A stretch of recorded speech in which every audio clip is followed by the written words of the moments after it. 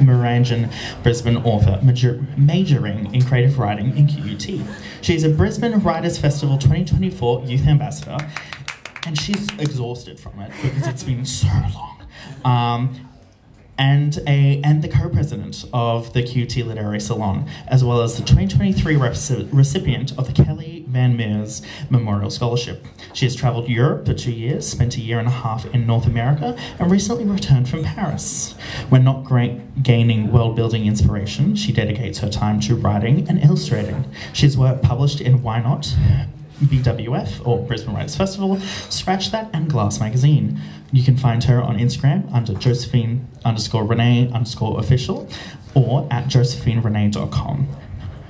When asked where she wants to escape to, um, she says, You know how people ask that question of you're stranded on a desert island, deserted island, you can only bring one person with you? Who would it be? And it's supposed to be this horrible situation.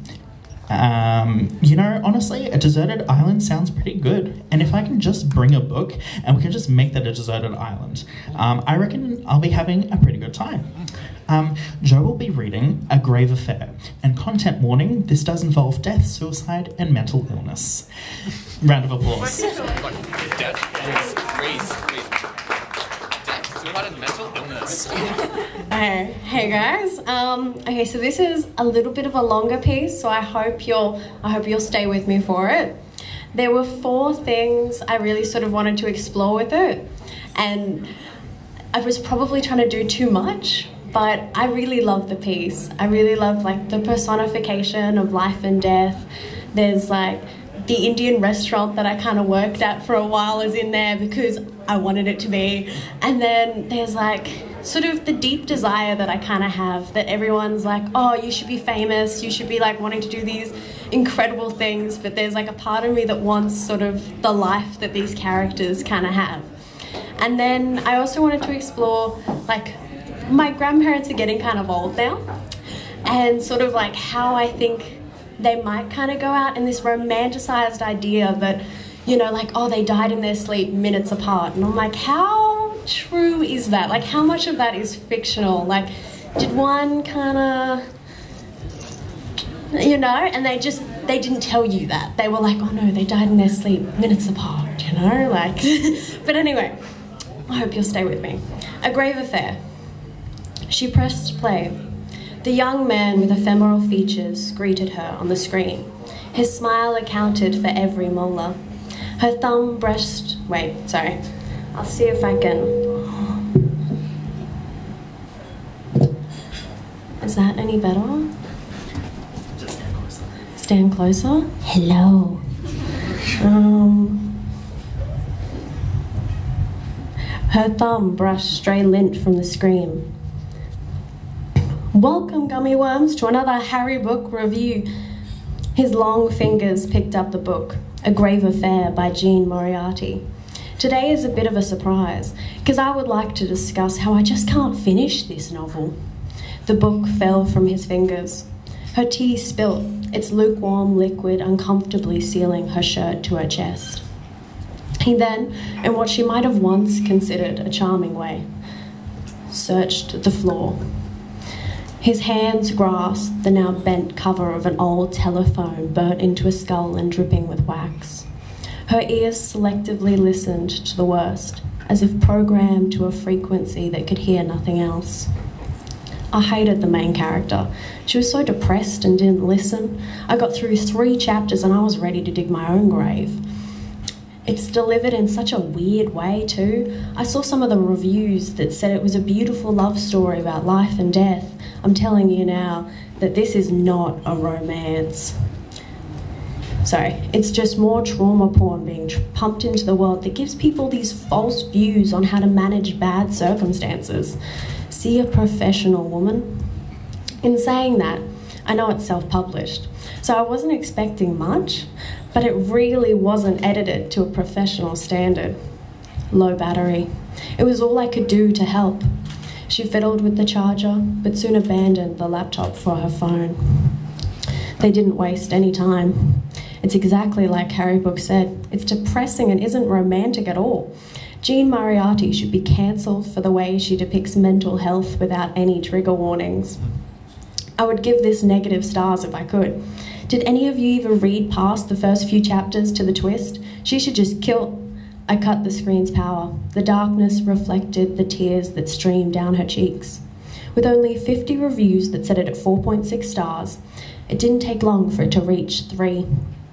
She dressed all in black, which suited her mourning. She didn't have any time for another shower, but washed her face in the sink. Wisps of straight brown hair fell from her bun and curled.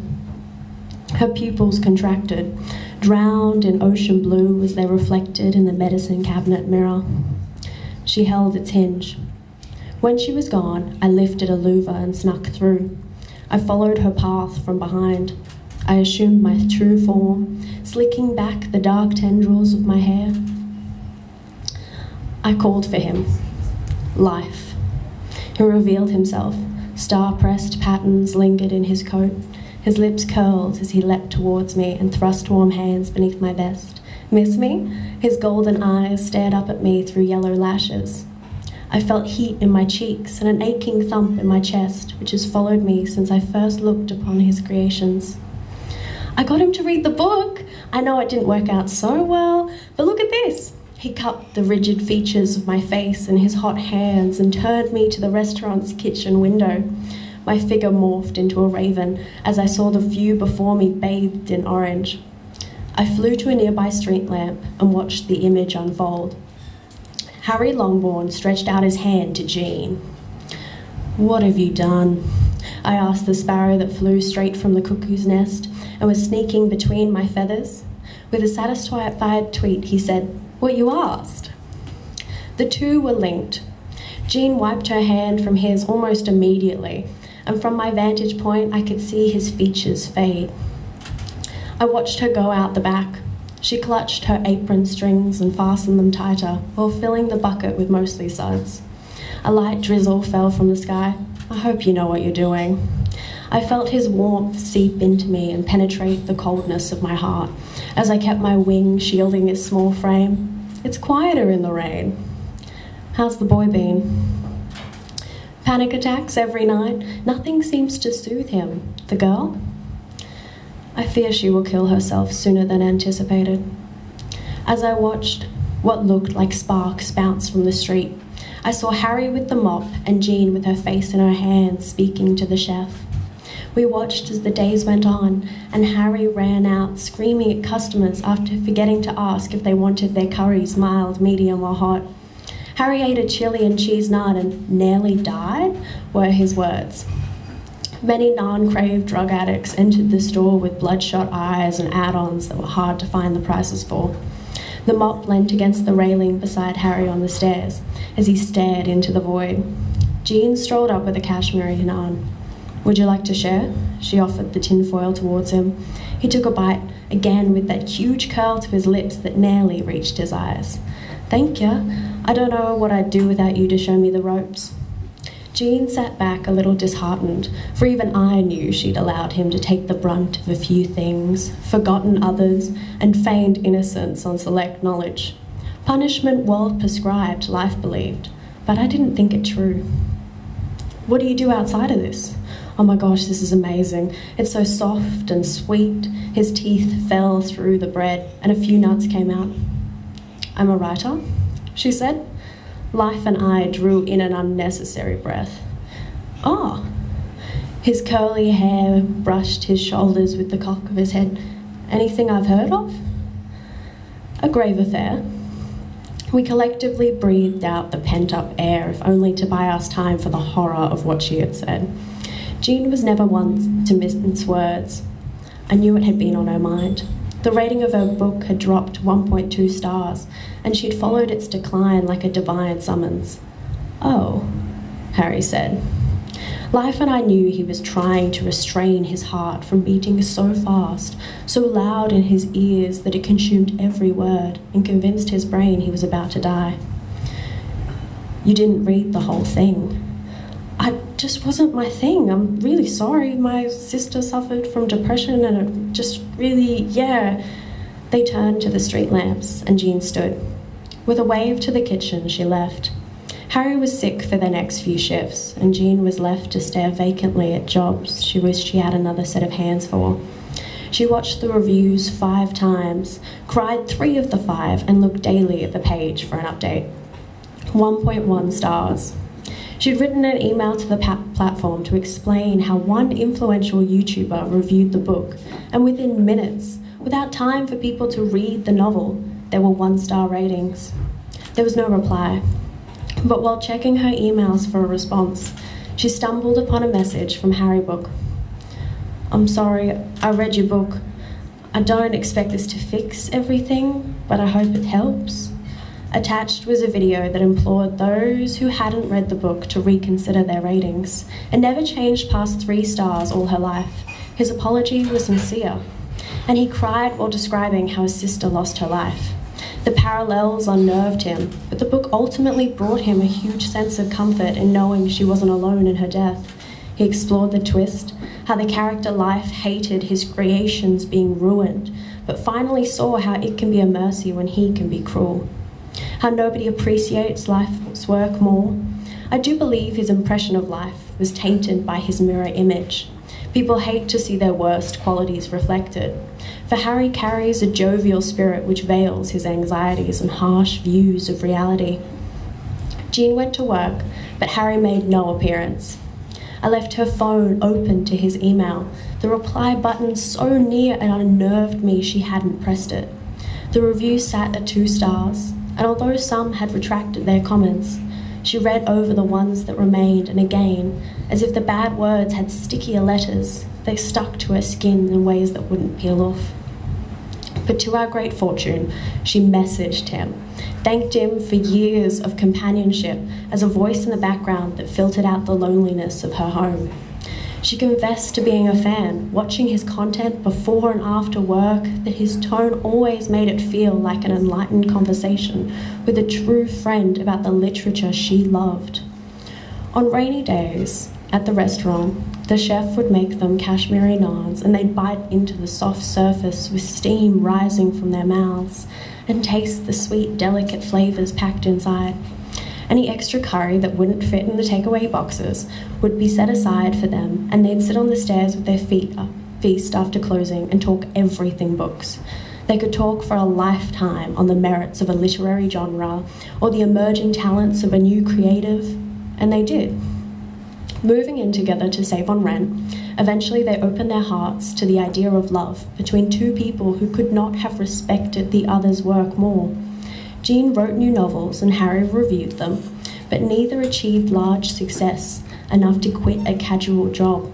But they liked it. They worked together in cafes, bars, restaurants, and a library at the end of their lives. They had two children, Jem and Scout. Life guided the children from a nebulous scar, star. When it was time and they'd lived long lives, Harry slept on. Jean wouldn't have gone out the same as him. She'd been fighting my embrace for so long, finding more warmth in it than others ever had. She tried to wake him, but she knew in her heart, as I did, that it was his time to go. Jean rose from the bed and tied the knot of her sky blue dressing gown tight around her ribs. I gazed upon her milky eyes and the vanity, the crow's feet beside them, which proved how her smile had eventually matched Harry's. She brushed what was left of her grey hair with an old silver comb before popping a few of every pill from their medicine cabinet into her mouth. She lay down, placing the blanket over them and smoothing the wrinkles. She moved a strand of Harry's hair behind his ear and slowly crept forward until her forehead was pressed against his. Her hand against his heart, she cocooned the shape of him. Leaning her face into his chest, she let his shirt catch her tears. He was still so warm. Jean's eyes met mine. It's nice to finally meet you, Death, darling. I bent my head, and I you. With my hand on Harry's shoulder, I nudged him lightly, and he woke too. I guided them through the dust of the center of the world, and watched them fade into the heart that would place them anew in the universe. The medical examiner said they died in their sleep, minutes apart.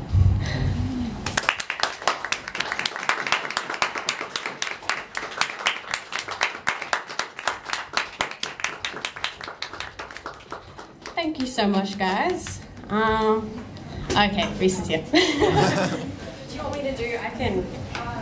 I'm grabbing my things. He's here. But you, can you stay for a moment quickly? First of all, sticker. Yeah. Wonderful. Um, and Joe, I was told um, you did some stuff with Scratch That today, this um, this semester. Um, and we've got a book for, for Scratch That. Do you want to talk about it quickly? Yes, I can do that. Hello, everyone. Okay, so as you know, I've been working on the Brisbane Writers Festival and I've been working on Scratch That, which has just been absolutely fabulous. And this Fabulous. is our wonderful book. Unfortunately, like our launch party for it got cancelled, but that means I could bring more people here. So I was kind of happy about that. I was like, what can I, what can, what can let's all get from this? So it was pretty good. And also, the book is free, which is also very nice.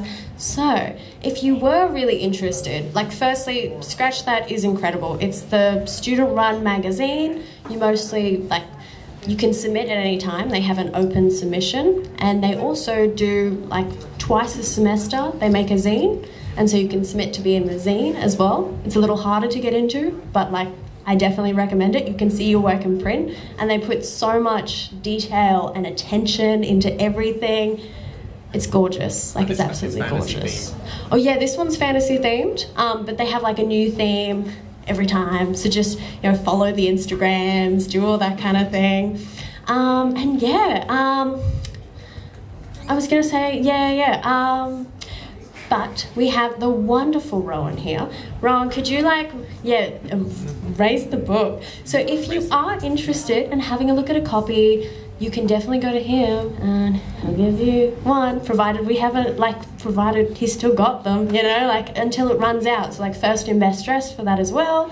Um, and yeah, it's just amazing. Usually, you run the magazine in third year if you want. It's called SCP, Situated Creative Practice. That may change in future years, but that's what it is right now. And yeah, it's pretty great. So um, that's everything. Thank you. Thank you, Joe. Um, so while you talk Rowan